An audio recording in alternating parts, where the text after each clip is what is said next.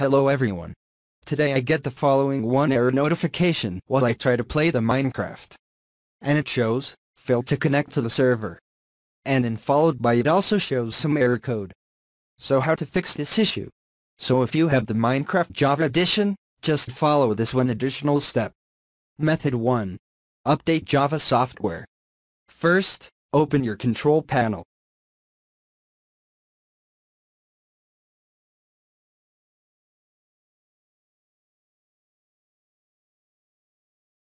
So here you can locate Java.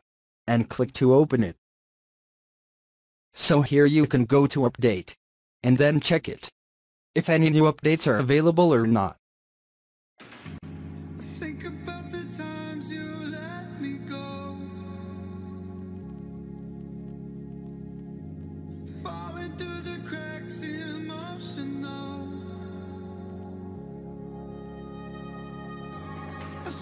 To see what your reasons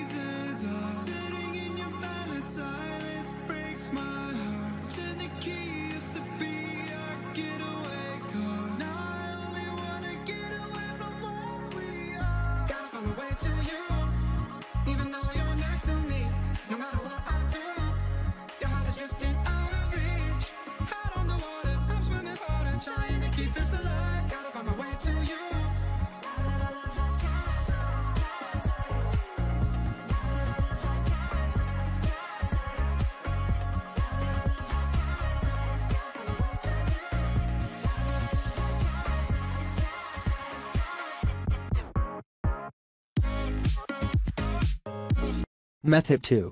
Add exceptions to firewall settings in Minecraft folder. Go to the Windows search bar and firewall in the text box. Click Windows Defender Firewall to open the control panel. In the left pane, select Allow an app through the firewall option. Click the Change Settings option. Select the Allow another app option again. Browse to the Game Installation Directory folder and choose the launcher executable.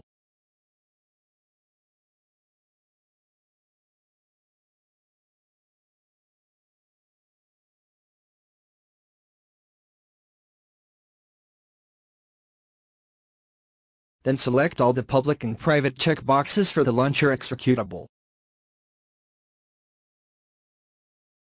Method 3. Reset an internet connection.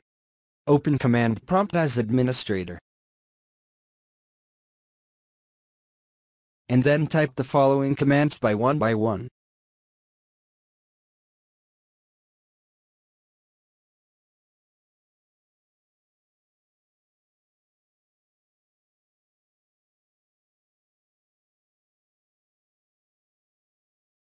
Once you execute this command, close all the windows. And also restart your Windows PC. So after the restarting is completed, once again try to access that same Minecraft. Method 4. Reset your internet router. Resetting the router is the most straightforward solution. If your internet modem router causes problems then you are most likely to notice Minecraft error. You should always check your internet connection before trying to connect to the server. Try powering off your router by pressing the reset button for a couple of minutes and power back on to restart your router. If that doesn't work then reset all the settings of your router and set it up freshly. Try to connect to a server after resetting the router.